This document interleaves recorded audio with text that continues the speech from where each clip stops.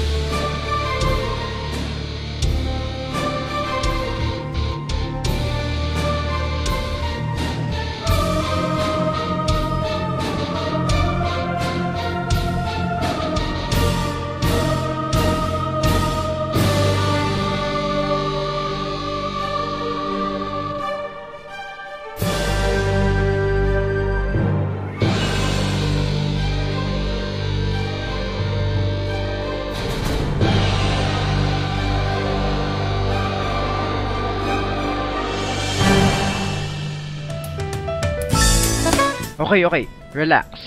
Chill. Calm down. Mali ang nasa isip ko. Siguro. Ang sasakyang pandagat na ito ay tinatawag nilang Super Yacht Adastra. Ayon sa Boat International, ito daw ay one of the world's most amazing super yachts that could spell the future for efficient long-range cruising. Ayon naman sa overview nila, sa website nila, ang Adastra daw ay resulta ng more than 5 years of design and discussion with the owners to build a yacht that meets the needs of a very experienced ocean voyaging couple and their family and to provide the level of comfort and style that would be expected in a yacht of this class and size. Ah, uh, take note. Ang yacht na ito ay ginawa sa China. Okay, ang yachting ito ay high class eh kaya naman pala pinagtitinginan ito ng ating mga minamahal na passers-by. Eh kung ganyan nga naman ang makita mo sa Ross Boulevard, eh talagang hihinto ka, titignan mo yan. Check up, check up. Ayaw naman tayong mga Pilipino. Oh, tignan mo pa si kuya, oh. Lonely. Imu-imuhan.